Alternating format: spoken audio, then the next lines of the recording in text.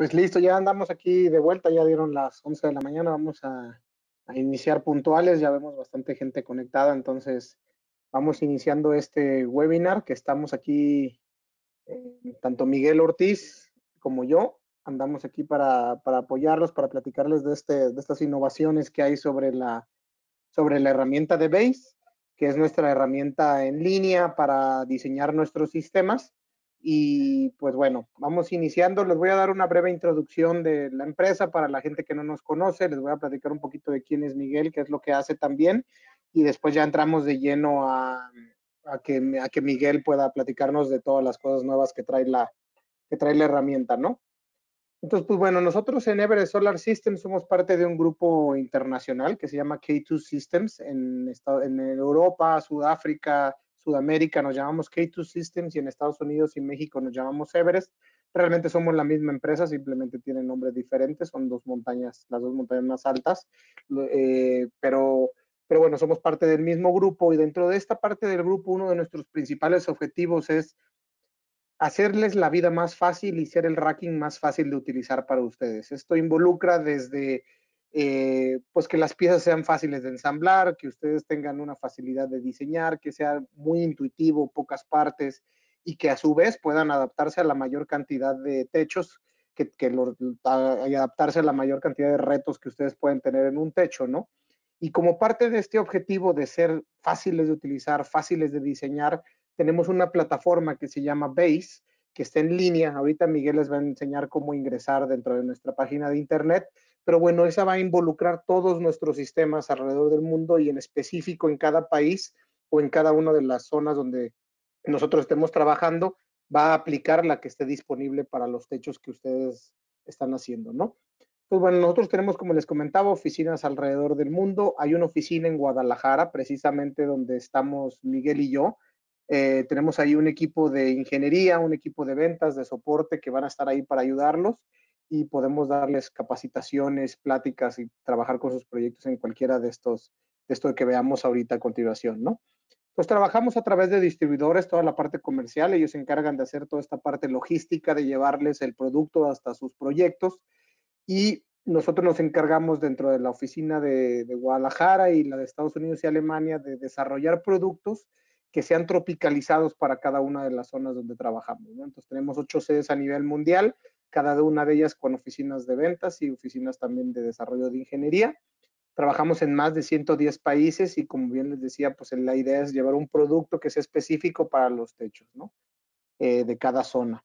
Tenemos 25 años de garantía en nuestro producto y llevamos un, aluminio de grado marino, que es un aluminio de una calidad que va a permitir que la corrosión no tenga ningún problema mecánico sobre las piezas y que, bueno, nosotros podemos instalar en la costa, dentro de muy pegados al mar o zonas de mucha humedad, o inclusive me decían por ahí también que ambientes muy corrosivos son zonas donde hay agropecuario, donde pues los desechos de los animales puede ser muy corrosivo. Todo eso, el aluminio va a ser resistente a este tipo de corrosiones, ¿no? Entonces, es un aluminio de, de una calidad ahí importante. Tenemos, tres, tenemos gente de ventas que va a estar en la zona norte, en la zona occidente Bajío y en la zona centro-sur. Son Alejandro, Jorge y Eric. Ellos son nuestros agentes de ventas con los que se pueden acercar a platicar de sus proyectos y ellos van a poder darles alguna recomendación de cuál es el producto más apropiado para utilizar en uno u otro techo. Y también se encuentra Miguel, quien es quien le voy a pasar la palabra a continuación para que nos platique de cómo es la herramienta, él se encarga del área de proyectos. Entonces, cuando ustedes tengan un proyecto, pueden acudir a cualquiera de nosotros y les podemos ayudar a diseñarlo. Eh, todo lo que vamos a ver hoy, pues tenemos un tiempo limitado, una hora, una hora y cuarto para, para, para atender todas sus dudas y atender todas estas cosas que tengan por ahorita. Pero los invito a que apunten cualquiera de los contactos que apliquen para su zona para que puedan agendar una cita personalizada para su equipo de ingeniería y nosotros mostrarles ya sea en un proyecto que ya tengan ustedes o eh, un proyecto más general, que les hagamos una capacitación personalizada a sus empresas para que sepan sus ingenieros cómo utilizar la herramienta ya más a detalle y de forma personalizada, ¿no?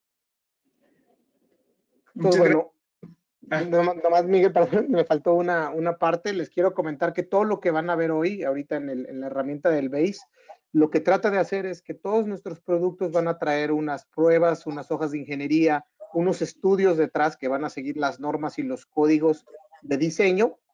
Y para hacerles más fácil esto y no andar buscando en cada una de las tablas, que si qué exposición es, que si qué velocidad de vientos tengo, que si todos estos parámetros que pueden tener, es lo que les va a enseñar Miguel, cómo ingresarlo en la herramienta y cómo tenerlo, ¿no? Entonces ahora sí, le cedo la palabra a Miguel, voy a dejar de compartir mi pantalla para que él pueda compartir la suya y les pueda platicar. Cualquier duda que vayan teniendo, favor de mandarnos sus preguntas ahí en la sección de preguntas y respuestas y las vamos a ir atendiendo en línea, ¿no? Por ahí rápido voy a contestar una que dice que el documento de 25 años, ¿dónde viene? Viene en nuestra página de internet. Si nos mandan un correo, se los puedo mandar también, pero en la página de internet viene también la, la garantía en la sección de descargas.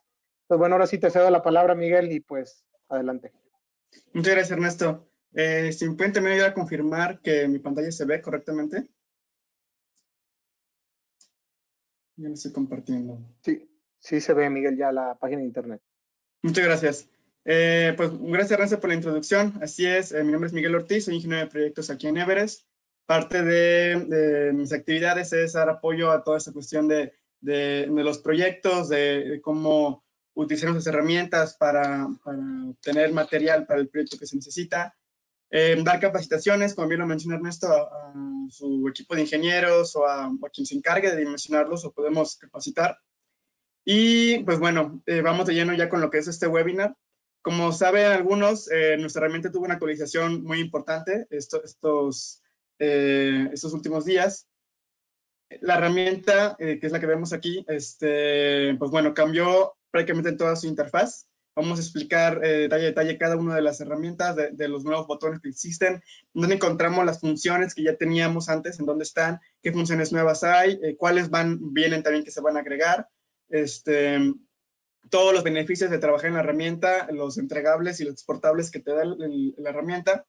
Y pues bueno, primero vamos a empezar por eh, ver de dónde, cómo llegamos a la herramienta, ¿no? En la, ahí en la presentación que tenía Ernesto estaba el link, pero si no lo alcanzan a notar, más o menos eh, se pueden aprender este caminito que también está, está muy sencillo. Si ustedes eh, ponen en el buscador Everest Solar Systems, les va a mandar a, esta, a la página de Everest Puede que lleguen a la versión de México o la versión de Estados Unidos, cualquiera de las dos eh, van a poder acceder a la herramienta. Lo importante es darle clic aquí a la, a la, izquierda, donde tenemos las tres líneas horizontales. Vamos a desplegar este menú, donde van a poder encontrar mucha información, productos, este, información técnica, eh, la compañía, el contacto. Y en la sección de proyectos, aquí en Your Project, este, le vamos a dar en Base Online Design Tool aquí abajo.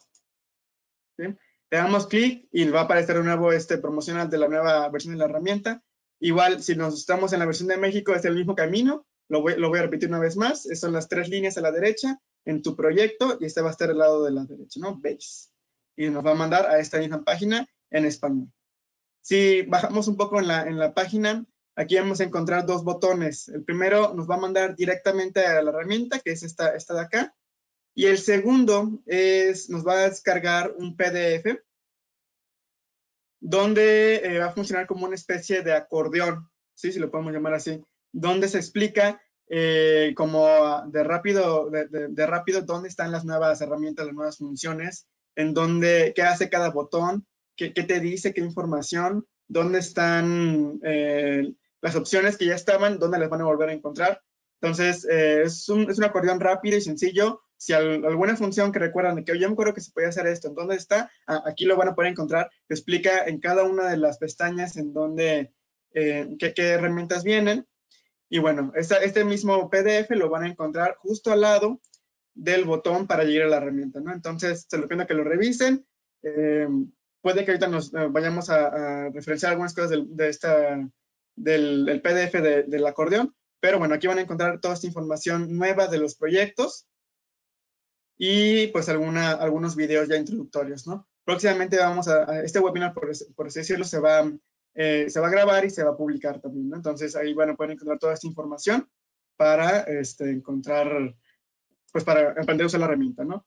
Una vez que ya ingresamos a la herramienta, eh, probablemente ustedes van a necesitar iniciar una sesión. Si ya tienen un usuario, con el mismo usuario que tenían, van a poder seguir accediendo no hay que crear uno nuevo, es el mismo, y toda la información de ese usuario, todos los proyectos y todo lo que se ha trabajado, se va a pasar automáticamente a, este, a esta nueva interfaz. No, realmente eh, parte de la actualización es eh, el reacomodo de las funciones, pero la información se mantuvo y sigue guardada, ¿no? Acá abajo a la izquierda deben de asegurarse que iniciaron sesión con su nombre. Aquí, aquí va a aparecer su nombre completo. Y el nombre que aparece aquí es el que va a aparecer aquí en el autor de los proyectos. ¿De acuerdo?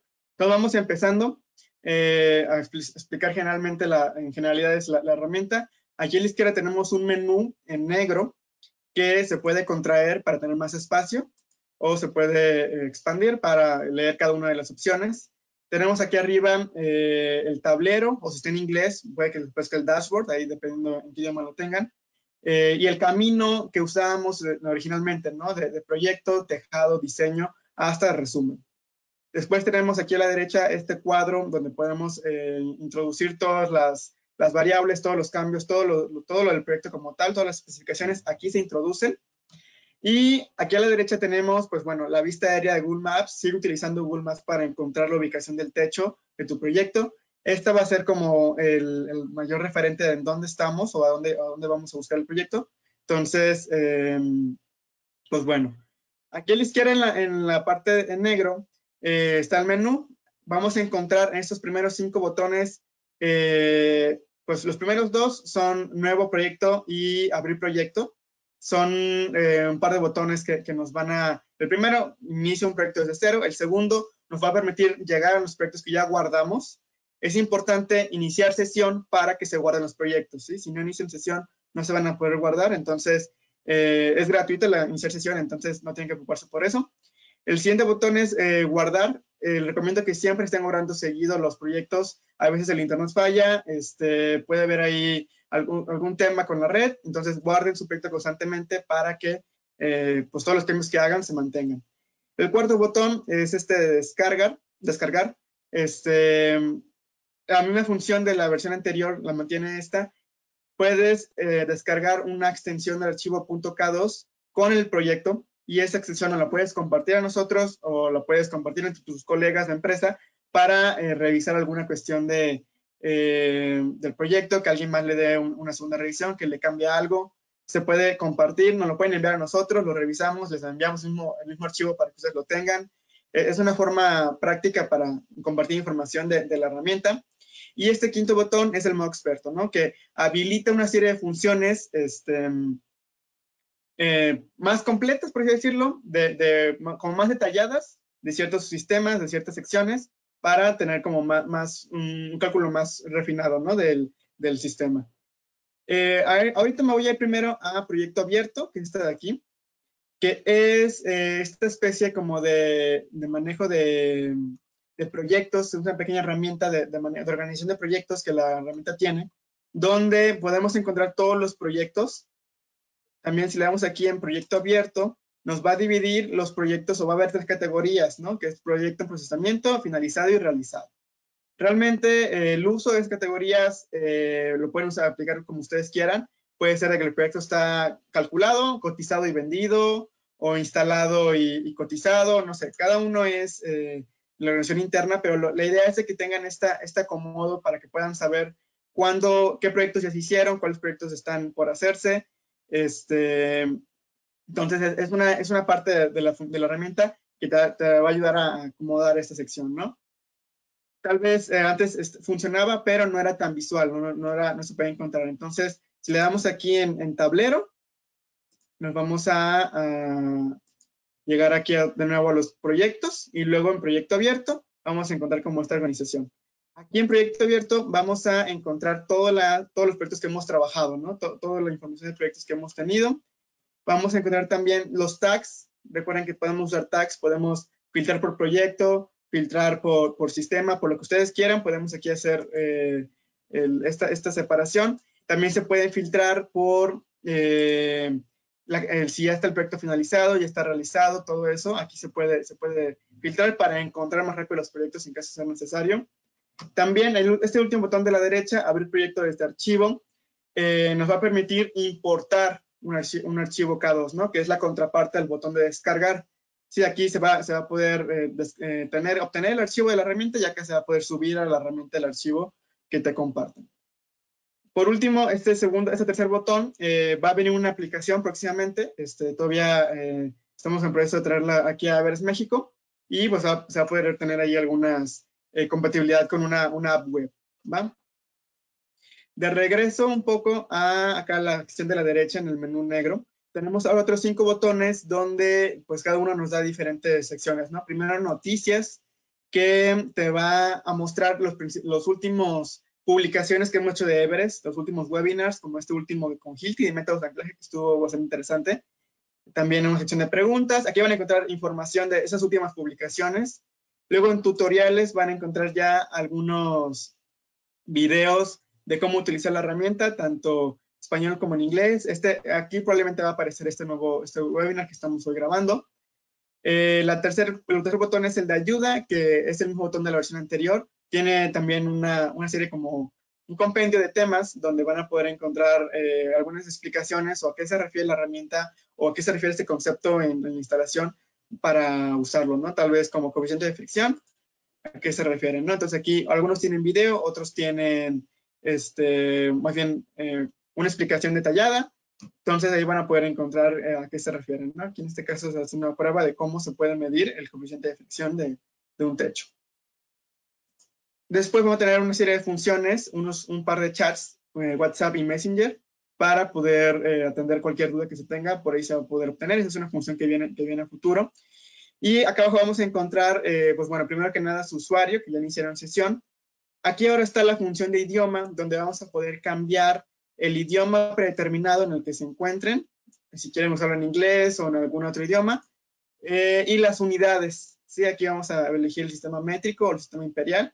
Aquí se puede cambiar y ya va, a quedar preestablecido para todos los proyectos. Y por último, el botón de desconectar cuando queremos cerrar sesión, si no estamos en la computadora personal o estamos, vamos a cambiar de usuario, ¿no? Regresando al tema ya de la herramienta, le vamos a dar aquí un nuevo proyecto si tienen un proyecto abierto, te va a preguntar que, eh, te va a avisar más bien, que si no guardas lo que tienes abierto se va a borrar. Entonces, si, no, si revisen siempre que lo que tengan abierto ya lo guardaron, un, double check, y eh, si pues ya pueden continuar, pues aceptar, ¿no? Va, a empezar un nuevo proyecto, va a empezar aquí, se va a mostrar la ubicación de, México, va, va, a mantener este punto, el punto geográfico de México, y aquí a la izquierda vamos a encontrar ya, vamos a empezar con el proyecto. Primero, eh, lo que tenemos que definir es la ubicación, ¿no? En dónde, en qué techo se encuentra el proyecto.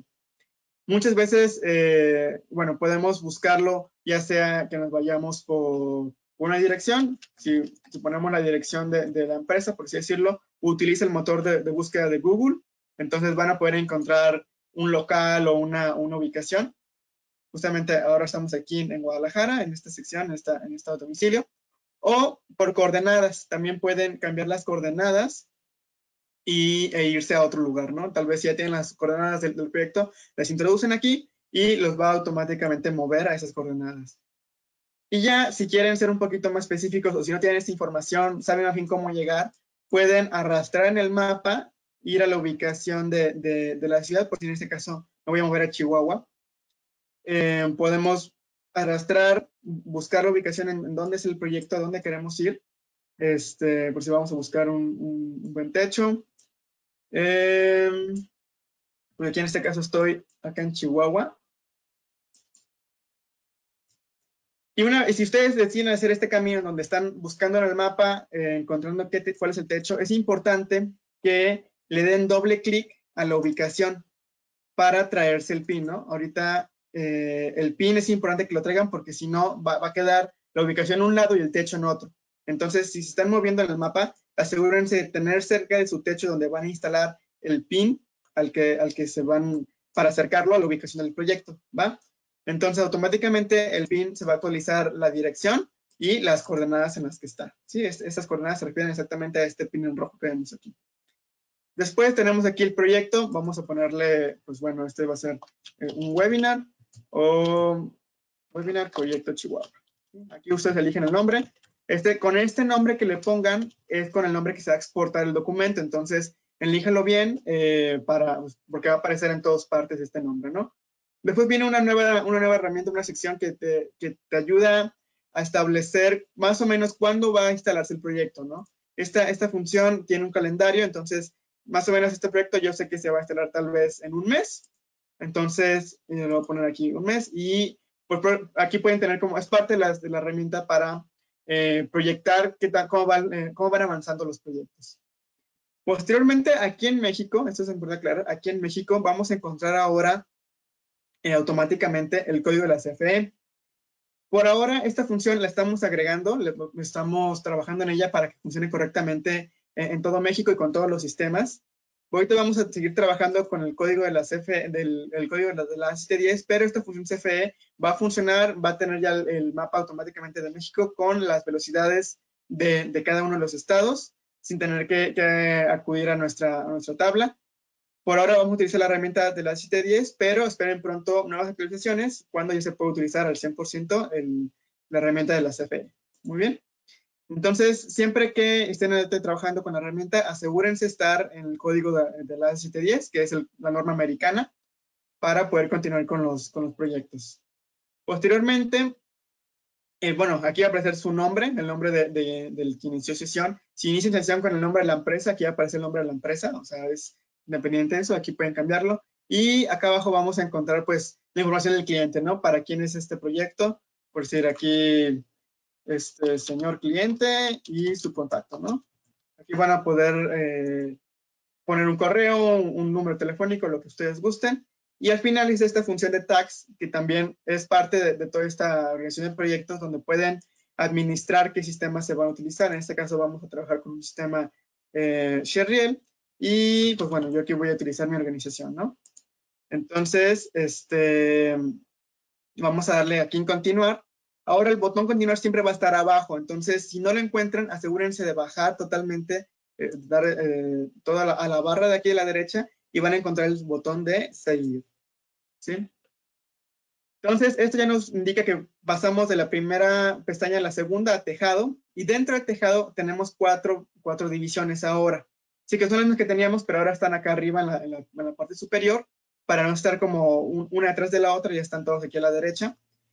Y pues bueno, esta es la primera parte de los principales cambios. Vamos a encontrar, eh, centrar la imagen en la ubicación en la que estamos y un rectángulo, un cuadrado rojo para definir el área. Es importante estar, eh, modelar o, poner nuestro techo dentro de este rectángulo, pues es, eh, pues esto va a crear una especie de, de captura de pantalla del, proyecto del, o del techo para poder utilizarla posteriormente en los sistemas, ¿va? En las siguientes pestañas. Ahorita, eh, pues bueno, vamos a usar ese techo que tenemos aquí, está, está rectangular, eh, prácticamente sin obstáculos, es de los más limpios, entonces vamos a utilizarlo para que se pueda apreciar bien. Y ustedes pueden arrastrar la imagen y posicionar eh, o centrar el techo que quieren usar en esta área, ¿no? Es importante definirla muy bien porque, para que salga completo el techo. Una vez que ya, se, que ya está esta función, vamos aquí en añadir. Y este, va a crear esta captura de pantalla y nos va a pasar automáticamente a la segunda pestaña, donde en esta sección vamos a elegir el techo, ¿no? Vamos a empezar a, dibujar el techo. Vienen las mismas opciones de la versión anterior, que si es un techo plano, de un agua, dos aguas o cuatro aguas, y dependiendo de qué seleccionemos, nos va a decir si se puede dibujar rectangular, poligonalmente o el tipo de cubierta, si es trapezoidal o si es lámina engargolada o si es concreto. ¿Va? Entonces ahorita en este caso, pues parece ser que solo es un techo de una sola agua, eh, pues rectangular, y vamos a elegir eh, junta alzada, que se refiere a, lámina engargolada, es una traducción de, español de España, y aquí también podemos eh, cambiarle el nombre al techo, ¿sí? Si es necesario, si tienen varios techos, son varios, son, es un techo, con varios techos, aquí se puede también cambiar el nombre, y posteriormente le damos en añadir. Vamos a dejar que piense un poco y la herramienta va a cambiar, el cursor de la herramienta va a cambiar. Ahora tenemos esta, esta cruz que nos indica que ya podemos empezar a, a dibujar el, el, techo. Y lo que vamos a, empezar a dibujar es, pues, nos posicionamos en una esquina del techo. En este caso voy a elegir la de acá. Regularmente, eh, pues bueno, si ya se hizo un levantamiento, ya se, ya se fue a ver el techo, ya se puede estimar o se sabe para dónde está la caída del techo. Entonces, como un tip que les puedo dar es, inicien dibujando el lado más largo de la, hacia la pendiente. En este caso, vamos a suponer que la pendiente va hacia acá, hacia, el suroeste. Entonces vamos a darle clic en esta esquina. Una vez que le damos un clic, podemos, tenemos la libertad de, de, empezar a dibujar hacia cualquier ángulo. Vamos a dar un segundo clic y posteriormente vamos a dar un tercer clic para abrir el rectángulo, ¿no? En este caso, por la misma imagen de Google Maps y la, proporción de la imagen está un poquito como desfasado, pero ya aquí nos permite, este, podemos editarlo más o menos de las esquinas o de las aristas también para eh, ponerle la distancia de, del techo, ¿no? Entonces, esto es lo que podemos ahorita hacer. Em, ya que decidimos que sí, ese es el techo, si no nos gustó, lo podemos borrar este es este botón de aquí, justamente arriba de, esta división en gris, está borrar el techo y te va a mandar desde el inicio a elegir la ubicación de en dónde, dónde va a ser el techo, ¿no? De, elegir esta sección para la captura de pantalla. Este, si no, también aquí podemos renombrar el techo en esta sección, de que sabes que ya sé que ese sistema es eh, tienda 1, entonces le vamos a poner aquí que es la tienda 1, entonces vamos a ponerle aceptar, ¿no? Entonces ya el techo se renombra a lo que ustedes elijan. Ahora, aquí vamos a encontrar con un signo exclamación la información mínima para poder este, continuar la siguiente sección. Aquí nos pregunta la altura del techo. ¿sí? Entonces, aquí podemos asumir que este tal vez es un doble techo, tal vez unos 8 metros de altura. Y la inclinación, esto lo pueden confirmar con su levantamiento cuando lo hacen o pueden tener una consideración. Aquí podemos aproximar que más o menos son unos 10 grados de inclinación. Y ya con eso va a aparecer esta flecha, esta flecha eh, blanca. Esta flecha es importante tenerla muy en cuenta en los sistemas que van coplanares, como el Sheriel y el mini riel, porque nos indica hacia dónde es la caída del techo y con base en la caída del techo nos indica cuál es la orientación de los paneles, si es vertical o horizontal. Entonces hay que, tenerla muy bien ubicada en dónde realmente existe esa caída. Si en caso de que lo dibujaran de otra forma y aparece tanto en otro lado, podemos utilizar de estos dos botones para regresarnos o para acomodarla donde nosotros queremos, ¿no? Entonces, ya decidimos que aquí queremos, vamos a hacer la caída original del techo, posicionamos la, flecha hacia ese lado. Después aquí nos va a decir qué tipo de, engargolado es. Hay muchas marcas en el mercado, sobre todo en el mercado americano existen muchas marcas. Aquí en México, pues bueno, realmente es la, que tiene engargolado doble o, sencillo. Entonces aquí lo podemos definir. Y lo que sí es importante para poder continuar es Em, calcular cuál es la distancia entre engargolados. ¿sí? Aquí hay una pequeña signo signo de interrogación que nos indica eh, cuál es la distancia de un engargolado a otro para poder instalar el sistema. Muy comúnmente aquí en México existe el engargolado KR18, que 18 se refiere a 18 pulgadas entre, entre engargolado y engargolado. Y entonces, usando este, este engargolado común, podemos convertirle de 18 pulgadas a, a milímetros y utilizamos aquí, que son aproximadamente 45, 46 eh, milímetros, eh, bueno, centímetros, entre engargolados. Entonces ya con esa información realmente ya podemos continuar a la siguiente pestaña. Me voy a, antes de darle seguir, voy a cambiarme aquí a la, pestaña de eh, obstáculos para poder, bueno, aquí vamos a hacer un, pequeño ejemplo que se pueden dibujar obstáculos, ¿no? Si tuviéramos una tubería, pues aquí alcanzamos a ver algo, no se alcanza a definir bien qué es, pero podemos sabemos de, de, antemano que no queremos hablar ahí, entonces elegimos el tipo de obstáculo y le damos en añadir. También podemos renombrar. Miguel, nomás para, para aprovechar esta, esta sección que estás dibujando un obstáculo, este, Luis por ahí este, nos pregunta que si puedes repetir la forma en la que se dibuja un techo. Yo creo que podríamos, podrías aprovechar esta, esta explicación de cómo se dibuja un obstáculo, porque el techo se dibujaría más o menos igual, ¿no? Entonces sería... Exactamente. con esto nos puedes ayudar a, a, repetírselo ahí. Claro que sí. Eh, una vez que se seleccionó todo el tipo de techo y, la cubierta, le vamos a dar clic en añadir. Y ya que eh, la herramienta termine de, procesarlo, el cursor, cuando se cambia una cruz, quiere decir que ya podemos iniciar a dibujar el techo o el obstáculo, ¿no? Cualquiera de las dos cosas.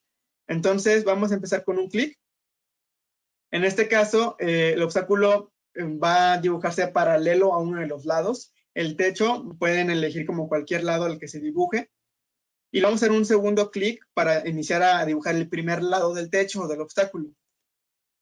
Entonces ya el tercer clic que vamos a dar nos va a indicar qué tan grande o qué tan amplio vamos a poder dibujar eh, o qué, cuándo es el área total ¿no? que queremos dibujar del techo del obstáculo. Prácticamente es el mismo camino. Vamos a dar un tercer clic. Entonces, con, los, con esos tres clics ya podemos dibujar el techo o el obstáculo y eh, de aquí de las esquinas podemos eh, cambiar la distancia de, ¿sabes qué? Tal vez no me, me, quedo tan grande o no están allá, es mucha área. Podemos ajustarlo, ¿no? Personalizarlo lo que necesitamos. Prácticamente ese es el camino, tanto dibujar obstáculos como dibujar techos. ¿Sí? Eh, podemos, aquí voy a aprovechar a, mencionar algunas herramientas de aquí de la izquierda. Tenemos, eh, podemos, como para ver más limpia la imagen, podemos prender y apagar las distancias, ya sean las medidas de ángulos como las medidas de los lados. ¿sí? También este, vamos a poder apagar y prender el fondo, como para no ver nada o, o sí verlo, se puede apagar y prender el fondo. Ahorita también estamos utilizando, eh, podemos regresarnos como a la vista original, si no, tal vez nos movimos en, el, en la herramienta o si nos perdimos la imagen, nos pueden resetear la imagen y nos manda al techo original. Y también podemos copiar tanto techos como obstáculos. Aquí en este caso, eh, siempre que está el obstáculo seleccionado va a estar este botón encendido, que es el de editar contorno. Y si le damos duplicar, se va este, pues, literalmente a copiar este techo este obstáculo y podemos utilizarlo para ponerlo en otro lado. Si tuviéramos en la misma forma obstáculo en el techo varias veces, podemos copiarlo y ya lo ponemos aquí. Entonces, bueno, sirve como para modelar rápidamente el techo si tenemos tragaluces, si tenemos tuberías o, o chimeneas, algo, algo que se repite mucho, nos ayuda a, este, eh, pues, hacerlo más rápido. Entonces, prácticamente así es como se modela un obstáculo.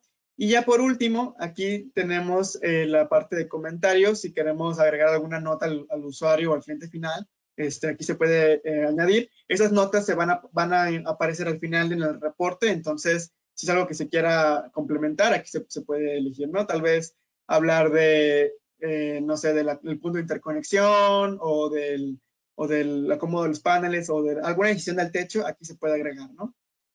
Entonces, ya una vez elegido, eh, terminado de definir toda esa información del techo, este, ya le vamos aquí a dar en seguir y a pasar a la siguiente sección, que ya es el, el panel, el diseño.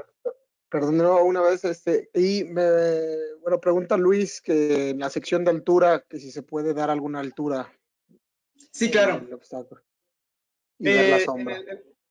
ah, para obstáculos, sí. El, techo se tiene que definir la altura, es un, dato importante para poder este, continuar. Y en el obstáculo también se puede definir la altura.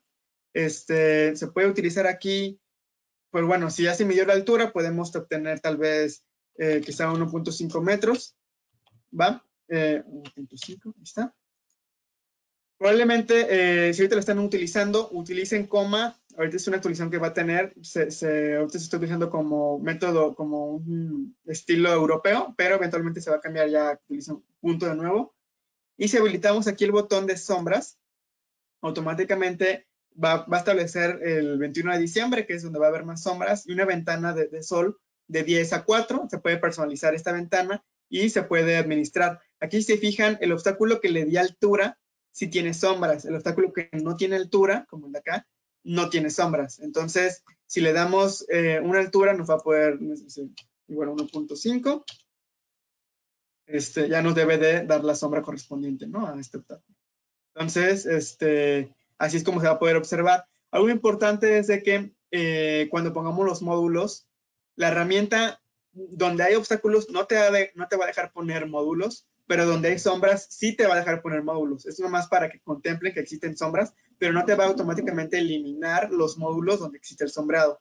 Entonces, si quisieran este, eliminar o que la herramienta automáticamente no te deje poner paneles donde hay sombras, pues será dibujar un obstáculo de la, de la forma de la sombra, ¿no? Entonces, o si también la herramienta o el obstáculo tiene alguna es una tubería o es algo que tú tienes que dejar un espacio de seguridad alrededor, si habilitamos aquí el modo experto, que es una de las funciones escondidas, podemos este, darle un perímetro al obstáculo, tal vez, no sé, dos metros, ¿sí? Y entonces alrededor de ese obstáculo va a aparecer esta, este, pues esta área donde la herramienta no te va a dejar poner eh, módulos en esta zona.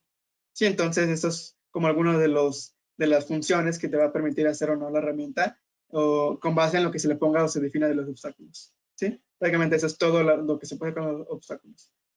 Ya que se terminó de definir todo esto, podemos continuar en, eh, ahora sí a, diseño, acá arriba. Nos va a preguntar, eh, primero que nada, el módulo. Automáticamente viene el primer módulo de la lista, pero van a encontrar una lista extensa de fabricantes de muchas marcas a nivel mundial. Ahorita se me ocurre tal vez este, eh, Canadian, vamos a buscar Canadian Solar. Y vamos a aquí a buscar el módulo del, panel.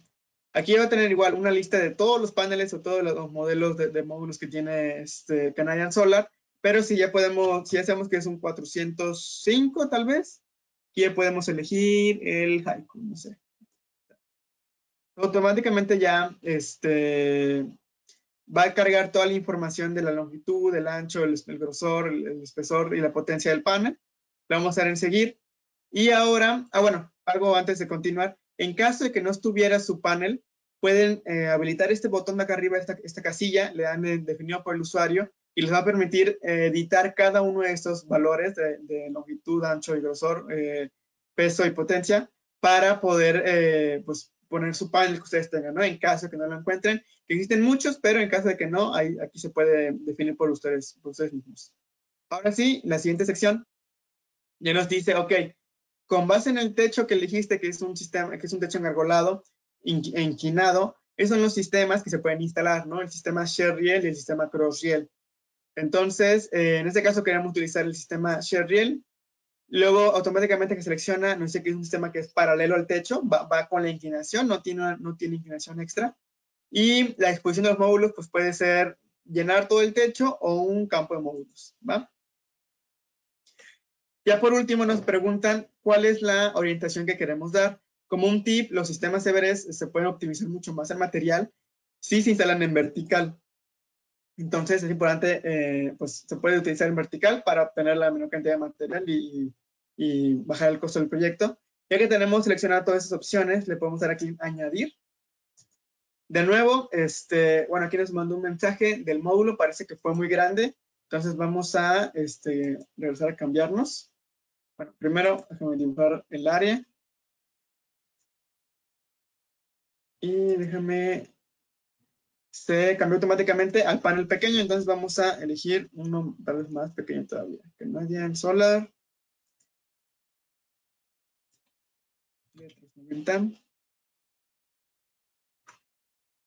Eh, aquí está. Ese es.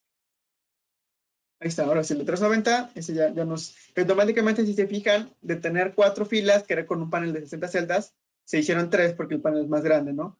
Si nosotros queremos, eh, ya, revisamos el techo y sabemos de que caben cuatro o cinco filas, eh, primero, si lo agarran del centro, pueden reposicionar el campo de módulos en cualquier parte del techo. Aquí voy a posicionarlos encima de los módulos para que vean cómo no va a poner paneles encima de los obstáculos.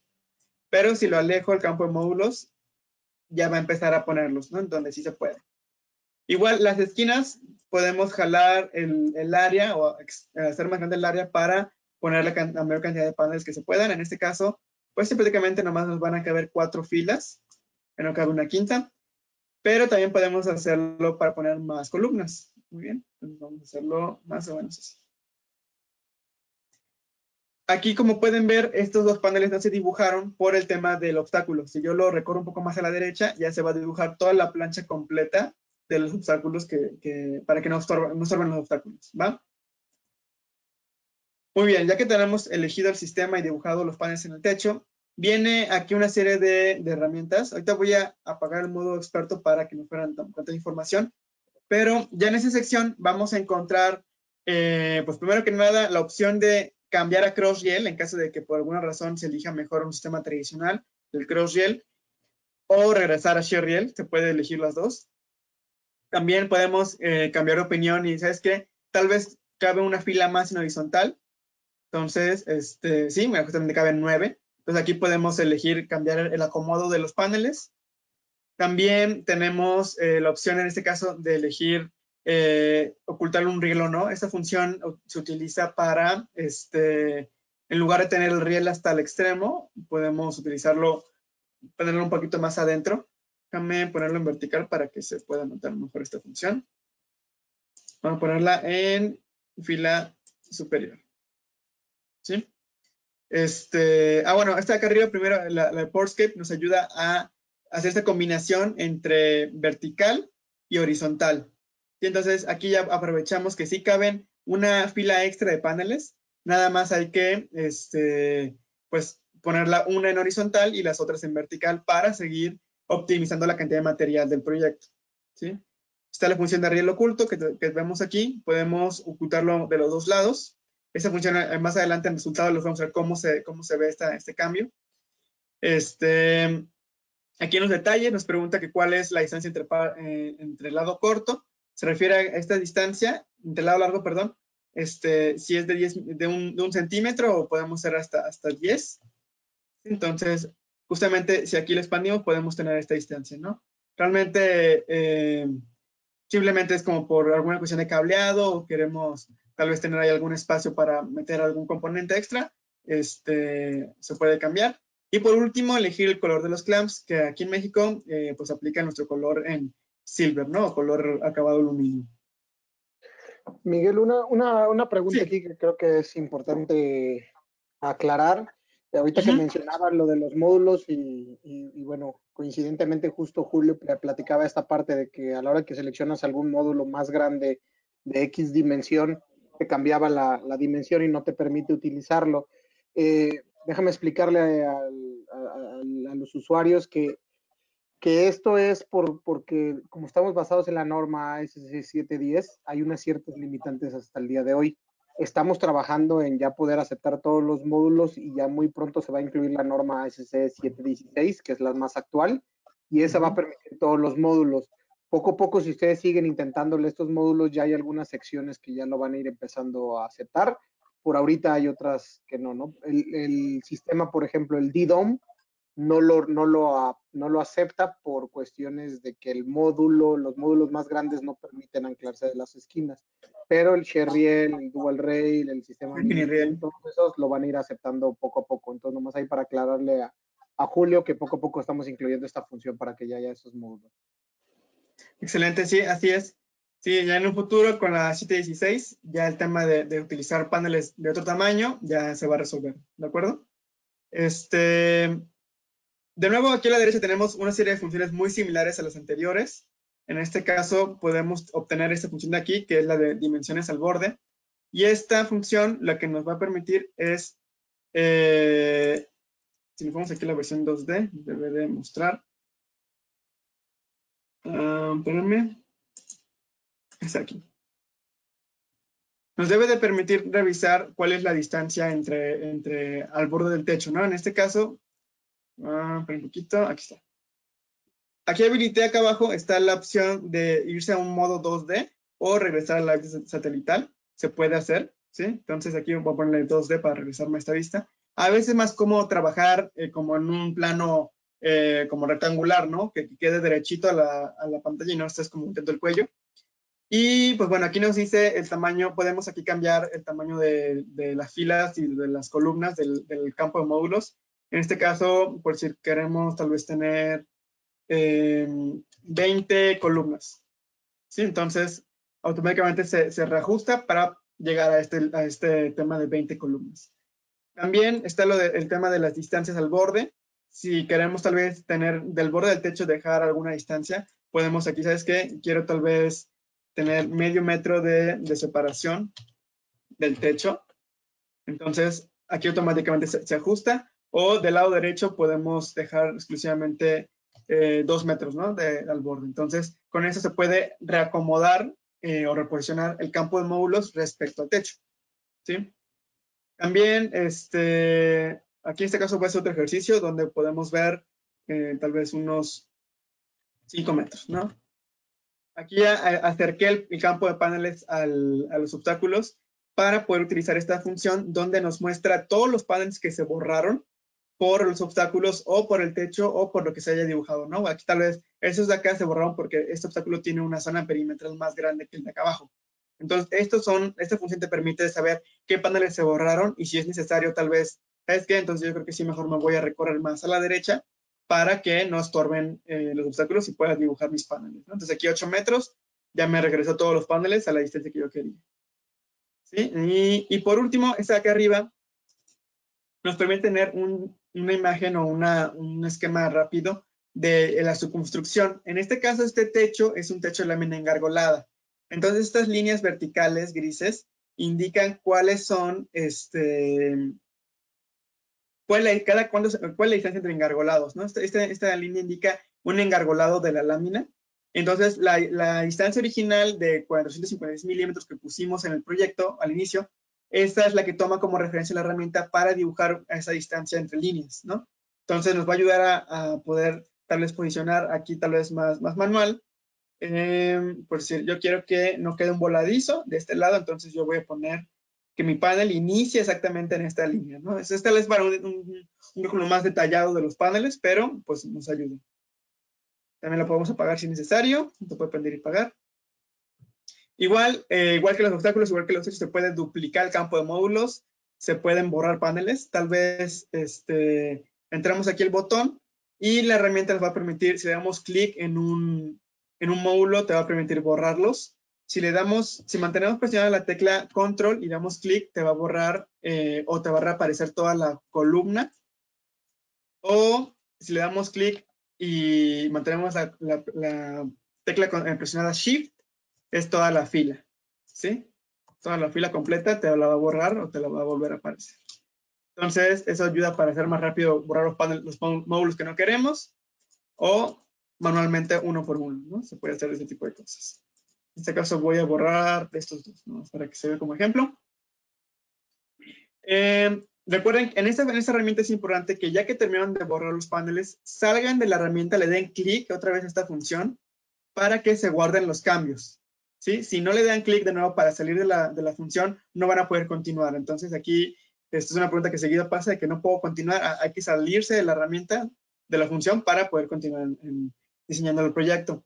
Posteriormente ya tenemos acá eh, la parte de, las separaciones térmicas. En esa pestaña, ¿para qué nos sirven separaciones térmicas? Eh, bueno, unos se pueden utilizar como pasillos de mantenimiento y otras se pueden o se necesitan dejar para eh, pues, evitar que la expansión térmica del material provoque estrés en los paneles que no queremos, ¿no? También es importante contabilizarlas porque regularmente cada expansión térmica te va, te va a contabilizar más material, ¿no? Entonces hay que saber cómo utilizarlas y en dónde y en qué sistemas para reducir la cantidad de material. En este caso, un sistema Sherriel no se recomienda tener separaciones horizontales o pasivos de elementos horizontales porque se pierden las funcionalidades del sistema, ¿no? Que es compartir rieles y tener pues más, más filas compartidas. más bien aquí se, se, se sugiere tener separaciones verticales para optimizar alguna cuestión de, rieles, cortes, tiempo de instalación, se, se puede utilizar.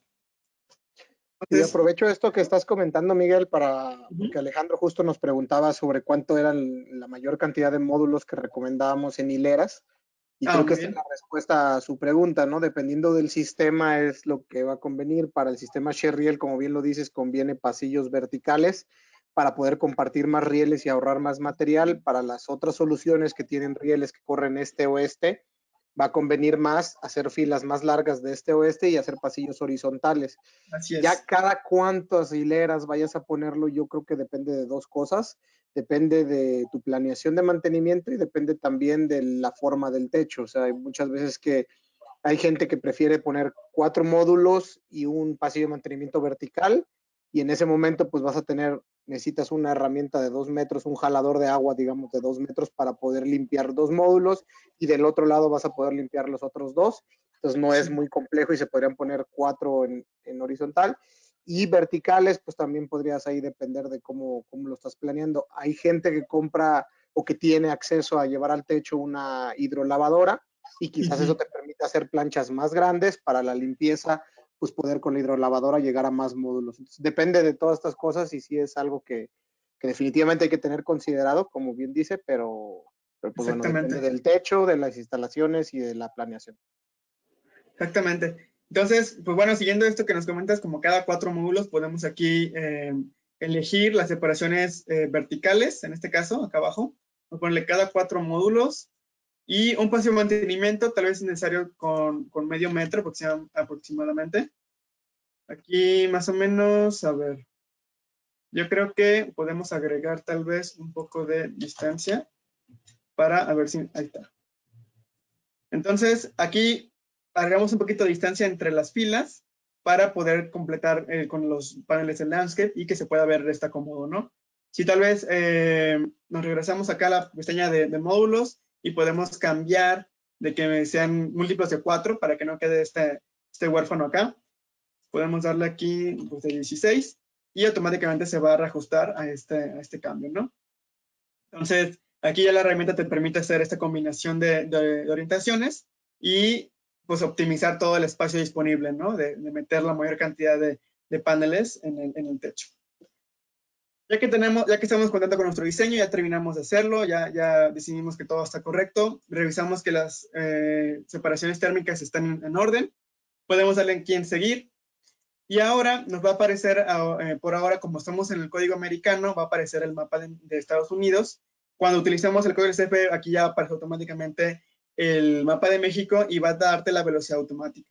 Por ahora, como estamos utilizando el código de la ACE, cuando llegamos a esta pestaña, hay que cambiarla en esta sección de método de introducción a manual. Y te va a permitir ahora sí eh, editar la velocidad de viento de, de aquí del proyecto. Es importante revisar en dónde estamos, por decir aquí en Chihuahua, eh, son, son vientos que ya están más pegados al, norte de, al norte con Estados Unidos, entonces pues hay ráfagas a, veces medio fuertes que pueden llegar de allá del norte, y para eso tenemos eh, nuestra herramienta, nuestra tabla de la CFE, aquí ya filtré una ciudad que es Chihuahua, para tener la velocidad de viento de, esta, esta, de este lugar, ¿no? Aquí en este caso tenemos que la velocidad de viento es 52.9, y este valor en metros por segundo lo podemos poner aquí, 52.9, y le damos Enter, ¿no? Entonces ya la herramienta va a pensar. También aquí tenemos un, otro par de, de, opciones. Si el sistema está instalándose en una zona urbana o periférica, un terreno abierto o una zona fluvial o cerca de la costa se refiere. En este caso podemos regresarnos a tal vez al proyecto, ver en dónde estamos probablemente está entre una zona periférica y una zona de campo abierto. Podemos dejarlo como una zona periférica porque pues hay muchos edificios alrededor. Entonces acá en cargas, este, se puede quedar aquí, ¿no? En categoría B. Si no están seguros cuál es, la recomendación es siempre váyanse tal vez, si están entre B y C, pues váyanse a C, que es esto un poquito más conservador. O si están entre C y D, váyanse a D, ¿no? Eventualmente. Entonces, este... aprovechando que, te regresaste ahorita a la sección del proyecto y todo eso, nos hace una pregunta este, este Luis en la sección de techo. Eh, nos dice que muchas veces el edificio tiene un, tiene un muro periférico, que dónde podemos nosotros poner esta, esta, este valor, por ejemplo, si tuviéramos un muro de un metro. Y lo otro que esto sí, la verdad es que, sí, como un parapeto exactamente, y lo otro que esto sí, la verdad es que lo desconozco, no sé si tú alguna vez lo hayas visto, pero ¿ese parapeto te va a proyectar alguna sombra sobre el techo o tendríamos que dibujar un obstáculo con la función de línea? Justamente se dibuja, se puede utilizar la función de, obstáculo, aquí en el, eh, se puede añadir uno, y en vez de utilizar un rectángulo utilizamos una línea y podemos eh, dibujar tal vez la línea alrededor de todo, aquí voy a poner, ¿no? Parapeto. Y podemos dibujar esta línea alrededor de todo el contorno del techo. Este, para simular este, este parapeto, ¿no? Cuando ya terminamos de dibujarlo, una línea o una polilínea, cuando damos el último clic, para, para terminar de activar la herramienta que ya terminamos de dibujar la línea, le vamos a dar un clic muy cercano al último punto anterior que se dibujó, ¿no? Entonces, este fue mi último, me acerco y otro clic y ya así elegimos la herramienta que ya terminamos de dibujar. Entonces, si le damos aquí una altura, tal vez de un metro más o menos, ¿sí? Un metro es lo que él más o menos nos comentaba. Entonces, más o menos aquí nos estima, pero depende también la, la, hora del, de la sombra, ¿no? Entonces, así podemos ver qué tan alejados podemos estar o cuáles paneles van a ser los más afectados. ¿Sí? Aquí también depende de la del sol. Este, lo que, lo que nos, se va a reflejar, ¿no? si no quisiéramos ver la sombra, también podrás ayudarnos. Podemos apagarla justamente aquí. tal vez ya se saturó. Entonces podemos quitar esta casilla, se apagan las sombras pero ya tenemos aquí contabilizado cuál va a ser esta proyección. ¿Y nos pudieras mostrar también dónde podemos poner parapetos sin, sin ver la sombra nomás para que la calculadora lo tenga? Por favor. Sí, esta, esta función sería en techos planos cuando estamos utilizando, este, por si, sí, serán, serán techos planos cuando estamos utilizando como el tema DDOM. La herramienta nos permite poner un, un, un campo del parapeto para contabilizar, eh, pues bueno, cuál es, qué, qué, tan expuestos o no están los paneles en un sistema DDOM, que se calcula un poco diferente con el sistema Sheffield. Ok, entonces nomás para resumir eso, eh, eh, si tenemos un techo plano, podemos poner un parapeto directamente que sea de todo el contorno del, del, techo. Si no tuviéramos, si tenemos otro tipo de techo, hay que ponerlo manual como lo pusiste con líneas, ¿verdad? Así es, exactamente. Okay. Gracias, Miguel. Este, bueno, aquí en la, en la, sección de cargas, ya que tenemos, decidimos, decidimos todo ese tema de, de, la carga del terreno, también el uso del edificio, este, si fuera normal, alto riesgo, bajo riesgo, esencial, aquí se puede elegir. Este, y por último está la parte de nieve. Eh, si tiene el, valor de, cuál es la nieve, tengo entendido que tal Chihuahua sí puede que nieve, no sé qué tan, eh, qué tan seguido lo hace, pero se puede agregar un, un, factor de carga de nieve en el diseño del proyecto, ¿no? Eso sí, sí se puede hacer. Ya que decidimos que ya, ya tenemos toda la parte de cargas, podemos ir a resultados. Esta es la sección en la que la herramienta va a hacer como su mayor cómputo, donde va a calcular todo ese tema. Y eh, pues vamos a encontrar aquí a la derecha, pues primero que nada, eh, la sección de, de, componentes, ¿no? Aquí es un pequeño layout de cómo está el, el sistema, eh, cómo van los rieles en el sistema, es un sistema share entonces recuerden, están compartiéndose los rieles. Y primero vamos a elegir acá el sistema de fijación, tenemos varios, utilizamos el Power Clamp Mini o el estándar, dependiendo de la zona de vientos, dependiendo del, del engargolado, lo podemos elegir.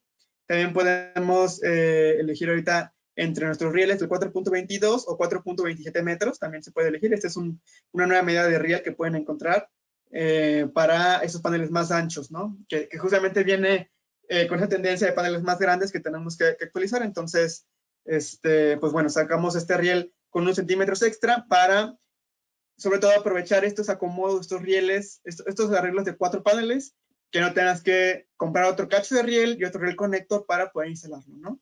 Es parte de sus beneficios. Acá abajo podemos elegir eh, qué componentes queremos utilizar, si las tapas finales, si un microinversor o no. Eh, son accesorios de, manejo de cables. Voy a utilizar nada más el último, que es el TC, que es el nuevo accesorio. Eh, y acá tenemos de nuevo una serie de, funciones y de capas que podemos habilitar. De nuevo tenemos este, la función de la subestructura, que aquí podemos ver que coincide la ubicación de este, este cuadrado gris oscuro es un power clamp o una L-foot, dependiendo de lo que se utilice, y coincide con la ubicación de este, el engargolado. ¿Sí? Entonces aquí podemos ver cómo, cómo, coincide y aquí podemos ver que cada dos engargolados y acá en la zona del medio cada tres.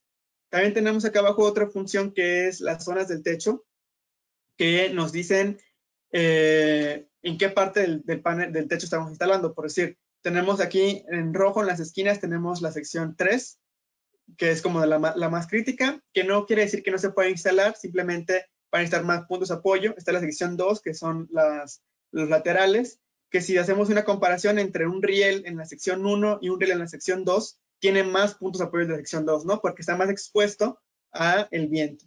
Entonces aquí en este caso va a utilizar 5 puntos de anclaje, acá va a utilizar 4. Sí, entonces ese tipo de cosas la herramienta ya lo contabiliza y nos ayuda a establecerlo, ¿no? Por decir, aquí, por último, también les quiero mostrar el tema del riel escondido, que este, aquí en este caso los dos rieles, tanto el de abajo como el de arriba, están eh, un poco más adentro del panel, no están en el borde del panel, y eso se refiere que es riel escondido, ¿no? Eso se puede aquí habilitar para, este, pues tal vez por estética, si es que no se quiere ver el panel, o se puede habilitar ciertas configuraciones para incluso optimizar material, ¿no? Como la configuración de, de Mitchell, que se la podemos revisar. Eh, Oye, Miguel, un par, de, un par de preguntillas aquí que podemos contestar con esta imagen que tienes. La primera es, bueno, nos pregunta Ricardo Díaz que cuántos puntos de apoyo se necesitan como mínimo o cómo, cómo estos puntos de apoyo que se ven ahí, cómo se definen. Ah, excelente. Mira, primero que nada, eh, lo primero que se tiene que definir es qué sistema se va a utilizar para saber cuántos puntos de apoyo son. Lo segundo es eh, la velocidad de viento del lugar donde estamos instalando. Si es en Chihuahua, eh, tal vez son vientos un poco más fuertes que tal vez Ciudad de México, ¿no? Que es una urna más grande y que tiene vientos pues más estables, eh, tiene muchas obstrucciones, entonces hay muchos vientos. Entonces, ese sería otro factor que te dice cada cuántos puntos de, a qué distancia van los puntos de apoyo. Y por último, como ahorita lo decía, la zona del techo. En, la zona, en, en las zonas de laterales vas a estar más apoyo que las centrales. Y aquí no se alcanza a percibir, pero si estuviera una parte del, del panel en la zona de la esquina, te va a meter más puntos de apoyo incluso, ¿no? Hay veces de que las distancias son las mismas, pero cambia depende del proyecto. Entonces, es importante revisar, eh, como resumiendo, el sistema que se va a instalar, el sistema si es es riel, tilt-top, eh, la ubicación del proyecto, si es para ver la velocidad del viento, y por último, las zonas del techo, ¿no? Qué tan cerca del borde del techo vamos a instalarnos para ver cuántos puntos de apoyo vamos a tener. Porque, bueno, lo entendemos que cada punto de apoyo representa una perforación. En este caso eh, no, no, no, aplica porque es lámina engargolada, pero tal vez en un techo de concreto, pues sí, sí implica, ¿no? Entonces, este, sí, entendemos que hay que tener en cuenta eso. Entonces, solamente para que lo sepan, regularmente una instalación donde tengas puros paneles en la zona central del techo va a reducir considerablemente los puntos de apoyo. Entonces, eso será como una parte del tip. Si queremos como englobar o centrar los, los puros paneles dentro del, en la zona 1, ¿no? De la zona central del techo. Ok, gracias Miguel. Y bueno, voy a aprovechar también para contestar un par de cosas aquí. Nos pregunta también Ricardo que si, que si el sistema para, o sea, que dónde podemos, cómo podemos subir la altura de los paneles para cuando haya sombras. Eh, nosotros tenemos un sistema que se llama Tilt Top, que es el que es eh, ideal para levantarlo, evitar sombras, obstáculos, todo eso. En esta herramienta estamos en proceso de programación del sistema Tiltop, entonces todavía no está aquí disponible. Les podemos compartir también si nos mandas un correo, hay una herramienta para calcularlo, pero sí va a estar aquí en la herramienta próximamente. Hay que calcular varias cosas, este, va a haber un, o sea, toma un poco de tiempo programarlo, pero sí la idea es que esté aquí. Hoy en día te podemos ayudar de otra forma. Y bueno, también Luis vio por ahí que está el Crossrail 48X de 4.27 metros para los módulos más grandes. Me pregunta, nos pregunta que si ya está disponible y si ya lo puedes conseguir en México, si lo necesitas o cualquier cosa, bueno, revísalo ahí con, con nuestros distribuidores y si no, también mándanos un correo y te podemos ayudar. Y hay una parte aquí importante que, bueno, no es tanto de la herramienta, sino es de los sistemas, pero pregunta Alejandro que si hay algún material de hule que pueda tener una separación para evitar filtraciones. Creo que eso ya depende de cada sistema, Miguel, porque pues este no lleva ninguna perforación. Este es un sistema que se ancla, no lleva perforaciones.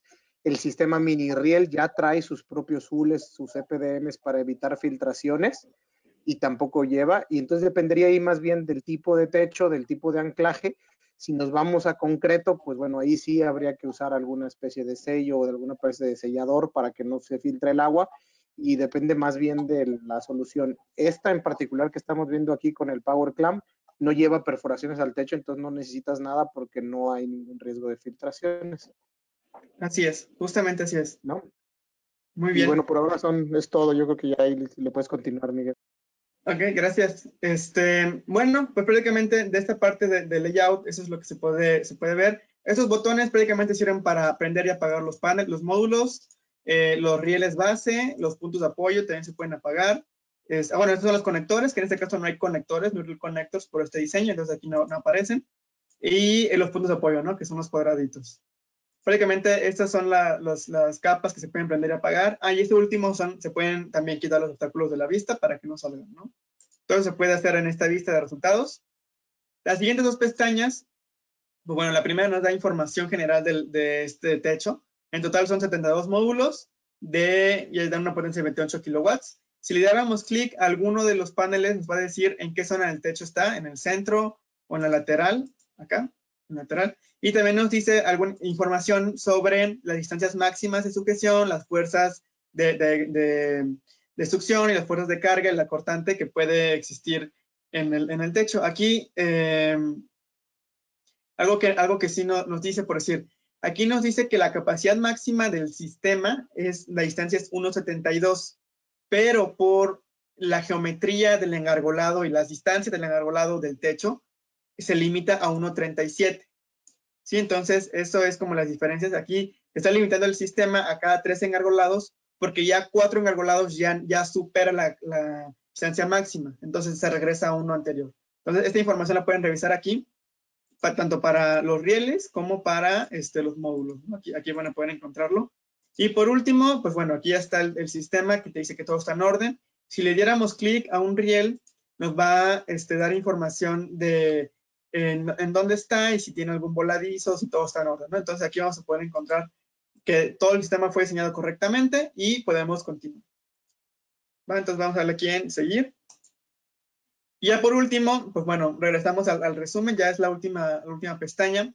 Aquí vamos a, ver el nombre del proyecto, la cantidad, si tuviéramos muchos techos, aquí van a pasar toda la lista de techos que hicimos, el sistema que se hizo, aquí va a haber un hipervínculo para ir a la información del sistema. Ya le di clic y nos abre aquí la pestaña del share que es esta la imagen, cómo, cómo se verá el share instalado en lámina engargolada. Después viene el panel que utilizamos, la potencia del panel, la cantidad de módulos y la potencia total, la potencia pico, claro. Este, después acá, posteriormente abajo, tenemos aquí la lista de artículos. Podemos aquí editar y ver todos los componentes que vienen, los rieles de, 4.22, el reel connector, este, todo ese tema aquí, aquí lo podemos encontrar.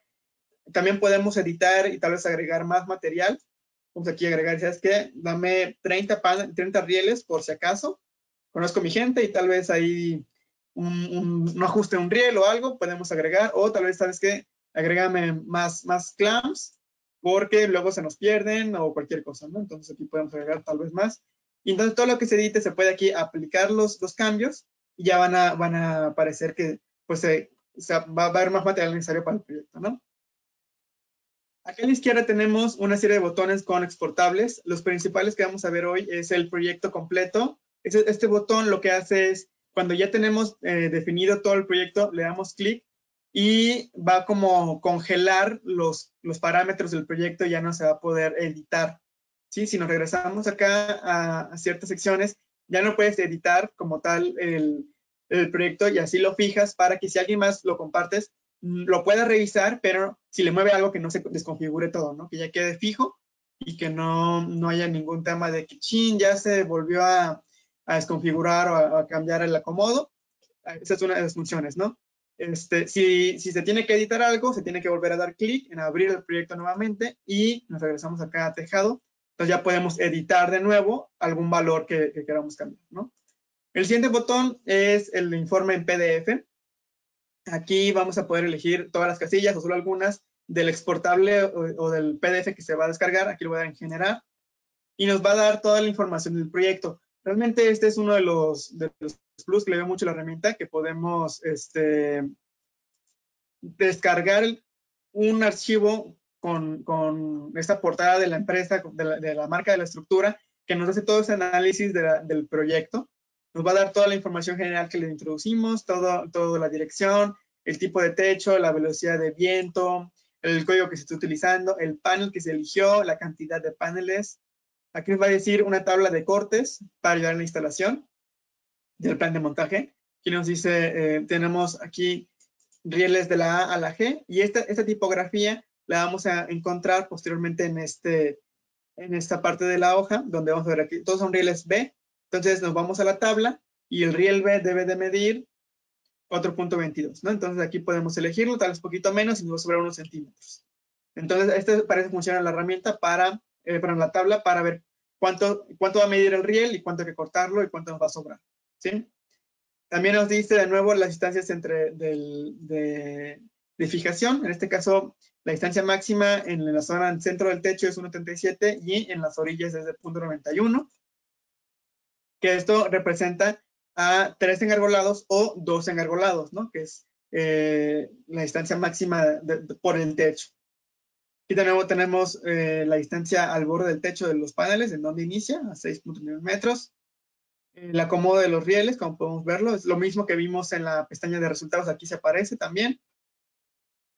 Viene aquí una tabla más eh, completa con toda la información técnica de cuáles son las presiones y las fuerzas que vamos a encontrar en los puntos de apoyo, en los módulos, este, y todo ese tema de, la utilización de los rieles, aquí lo vamos a poder tener.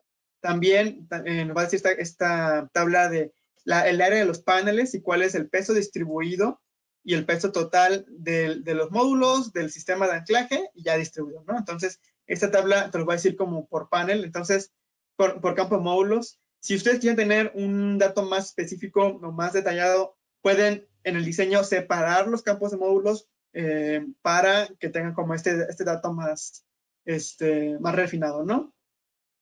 Aquí de nuevo viene ahora el informe estructural, que repite información que ya vimos en las secciones de arriba, y lo único que se agrega es el tema de las, de las fuerzas que está aquí abajo, las capacidades de sujeción, aquí. Y pues bueno, nos aparece este, este mensaje que dice que el sistema se ha verificado correctamente. Y ya por último aparece la lista de materiales, ¿no? Que, que, se editó, que no se editó, aquí aparece la misma lista de materiales que vimos acá. El siguiente exportable, eh, Miguel, quería nomás agregar algo sobre este reporte que, que yo creo que es una, de, es una de las cosas que nos han retroalimentado algunos clientes que, que les parece importante, es que Imagínense ustedes que llegan con un cliente este, comercial, industrial, donde tiene él un techo que le preocupa bastante la calidad, le importa bastante que, que, sea seguro, que tenga pues estas cuestiones de que no se le vayan a volar los paneles. Con este reporte ustedes tienen ya un documento membretado que está basado en las normas internacionales, en su momento de las CFE mexicanas o del manual de vientos de CFE, en donde vamos a estar, ustedes van a poder validarle al cliente que su proyecto en particular fue evaluado para X cantidad de vientos, X condiciones eh, climáticas y de, y geométricas del techo.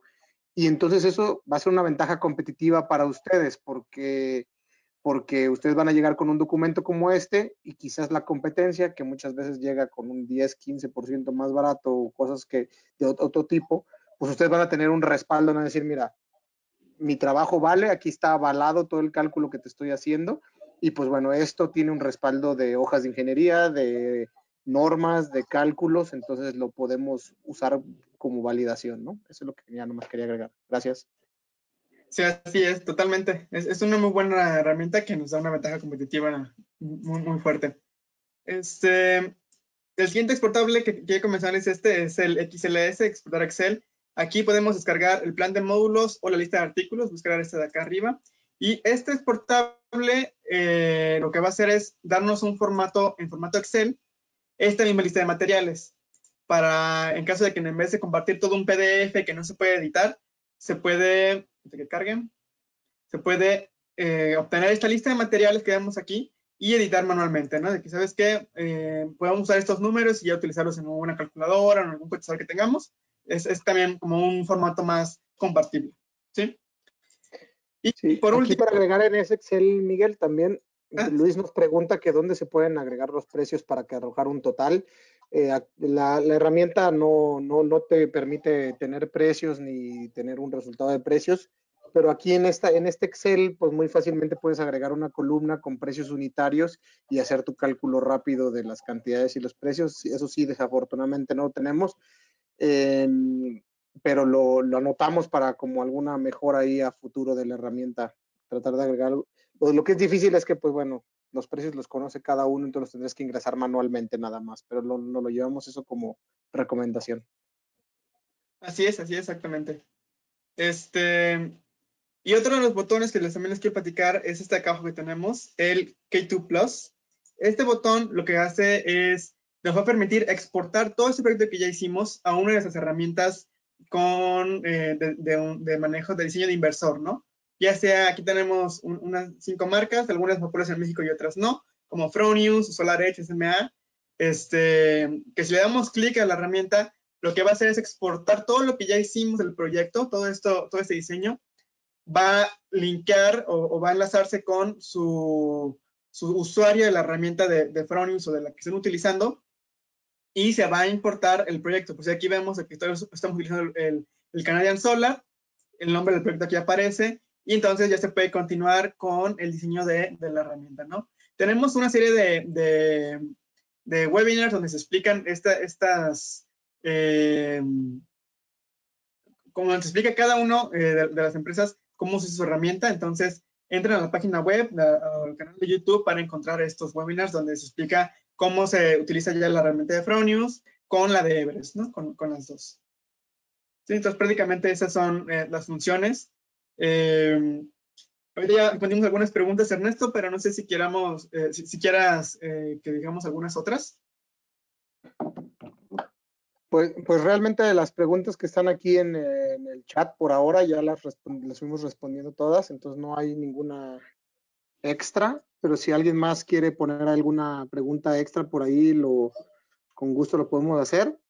Este, vienen cosas nuevas, estamos constantemente mejorando la herramienta. Por ahí te metiste a tu cuenta, Miguel, entonces les estás ahí mostrando ahí una, una cosa interesante que, es un secretillo, pero les podemos ah. platicar un poco. Ahí tenemos, pues, en un futuro va a haber una exportación a AutoCAD, se está programando, se está teniendo todo eso. Entonces, cosas ahí que si les ocurren a ustedes que necesitan, con gusto lo podemos hacer. Eh, pues podemos ver que se incluya, desafortunadamente pues, la programación es algo que lleva su tiempo, entonces lo vamos haciendo poco a poco. El sistema Tiltop es una de las principales cosas que queremos ingresar aquí. Y pues la idea, como les comentaba al principio, es que sea fácil de diseñar el sistema, que ustedes tengan una herramienta muy visual basada en Google Maps, donde puedan hacer sus layouts y tener su lista de materiales, que puedan exportarlo a alguna herramienta del inversor y entonces van a tener un documento del proveedor de inversores con el proveedor de estructura y ustedes van a poder entregar una documentación muy formal a sus clientes que les va a dar una ventaja competitiva, ¿no? Sí, así es. Este, pues bueno, aquí rápidamente nomás para, para, para dejarlo como en resumen, actualmente nuestra, nuestra herramienta nos ayuda a calcular los sistemas DDOM, ShareRiel, MiniRiel y, ay, ShareRiel, MiniRiel y, y CrossRiel. El sistema Tiltop es el que estamos todavía eh, trabajando para introducir una herramienta. Esperamos que muy pronto ya tengamos también la solución Tiltop aquí en nuestro, nuestra herramienta. Ok, déjame ver, por ahí salieron unas preguntas extras. Eh, bueno, ya compartí por ahí tu correo, Miguel, que me lo están preguntando. Ah, gracias, sí. Eh, sí, Miguel, como, como lo platicábamos, en el sistema de techo plano no aparece el tilt top todavía, se está, se está programando. Entonces, hoy, hoy no hay sistema tilt top, solo viene el D-Dome, pero sí va a estar ahí en, pues esperemos que en algunos meses ya lo tengamos ahí el sistema tilt top en techo plano. Hoy no, hoy no está todavía. Este. También preguntan. Pregunta Alfonso Ruiz. Dice, el software tendrá en cuenta la inclinación de la cubierta para sacar las verdaderas medidas de esta para colocar más o menos paneles. Eh, sí, sí lo hace. O sea, al final tú, tú diseñas tu techo y con la inclinación y todo eso sí se calcula todo como, como debe ser los espacios. Eh, si me, imagino que te refiere, o sea, si tú dibujas el techo en base al, al mapa, pues se va a dibujar como tan grande o tan chico como tú lo dibujes pero si ya tienes las medidas, las puedes tú, tú hacer a esa medida y puedes adaptarlo a las medidas. Exactamente. Eh, para Gonzalo, la herramienta ya está disponible desde, esta nueva versión está disponible desde el 10 de septiembre. Antes de esta había una versión anterior, pero ya la puedes utilizar. No sé si por ahí lo comentaste, Miguel, pero también es una herramienta que es un valor agregado de nuestros productos, no tiene ningún costo, hay que registrarse nada más. Y pues bueno, la idea es que les ayude a usar nuestros productos de una forma más sencilla. Y para yo, José, pues sí, tendrá el Simple Tilt la herramienta. La respuesta es que sí, la idea es que esté primero el Simple Tilt y el de una fila y después ya los otros. Exactamente, así es. Este. Mm. Bueno, pregunta por ahí Alfonso, creo que esa pregunta nos la tenemos que llevar de tarea, Miguel, porque pregunta que si no tiene las medidas y la dibuja en planta y le da una inclinación, entonces, que si tomará la medida correcta, sí, sí, creo que ya lo entendí ahora sí. O sea, si tenemos un techo que se ve que es de 3 por 4 a la hora que le das inclinación, realmente el techo va a ser la hipotenusa y va a tener una diferente medida. Entonces, si quieres, Alfonso, compártenos tu correo por ahí. Nos lo llevamos de tarea porque la verdad es que esa respuesta hoy no la conozco y tendríamos que verla con la gente que programa. Sí, sí, sí. Ok, va que va. Muy bien, andamos aquí leyendo unas preguntas. Sí, y, bueno, Javier dice ahí que, que bueno, es muy importante para él agregar el costo del proyecto, nos lo vamos a llevar de tarea. En Europa sí lo hace la herramienta, entonces no es complicado. Lo difícil es que, bueno, no lo difícil, sino la situación aquí es que van a tener que ingresar los precios manualmente ustedes, ¿no? Entonces es, por ahora lo pueden hacer directamente en el, en el Excel, no es muy tardado, es un, simplemente agregar una columna y hacer una fórmula de multiplicación. Eh, si quieres, también compártenos ahí tu correo y podemos platicar de cómo hacerle.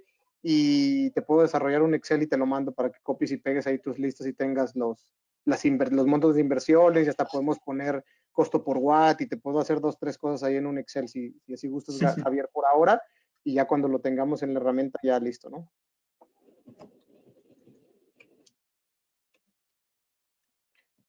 Bueno, pues ya creo que no hay más preguntas, Miguel. Pues muchas gracias por tu comunicación. Eh, voy, a, voy a robarte un poco la, la, pantalla, nada más para poner tus datos. Ah, gracias. Poner los datos de todos nosotros otra vez para que los tenga la, la gente ahí. Mm.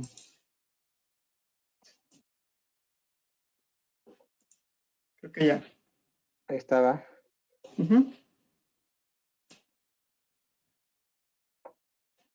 Ahí que se está viendo.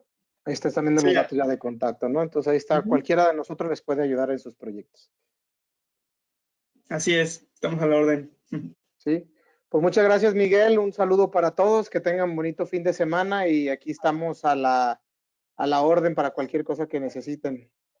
Claro que sí. Eh, para, para yo digo, hay una última pregunta ahí importante. Creo que la abrazadera que utilizaste en esta, en esta simulación se llama Power Clamp Mini, que es la abrazadera específica para lámina engargolada, no hace perforaciones.